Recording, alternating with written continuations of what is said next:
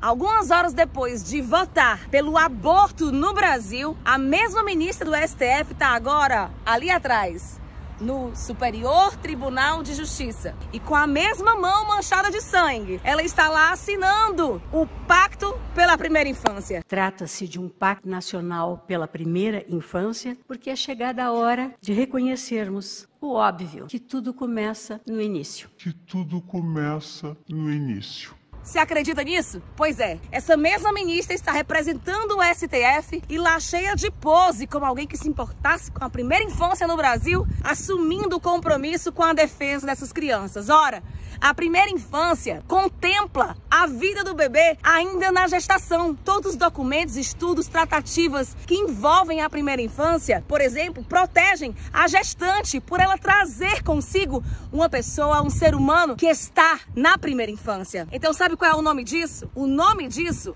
de ver essas mãos sujas de sangue com, tentando convencer o Brasil de que tem compromisso com a infância se chama safadeza, é canalice e nós não podemos desistir de defender os indefesos. Então você faça a sua parte. A gente está trabalhando muito aqui no parlamento e você também pode fazer a sua parte. Vá às ruas, vamos marchar pela vida, vamos falar com parlamentares, fale com o seu deputado, vamos conseguir apoio para o Estatuto do Nascituro e juntos vamos mostrar para o Brasil que a vida vencerá.